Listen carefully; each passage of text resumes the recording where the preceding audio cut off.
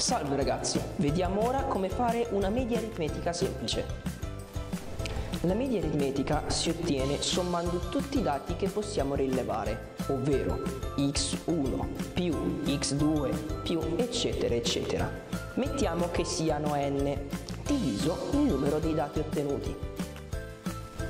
Se per esempio abbiamo effettuato delle misure di massa su dei ragazzi, Antonio pesa 75 kg, Jacopo ne pesa 80, Luigi 65 e Mattia 72, la massa media si otterrà sommando tutti questi numeri, 75 più 80 più 65 più 72 e dividendoli per il numero dei ragazzi, cioè 4. Il risultato sarà 73 kg.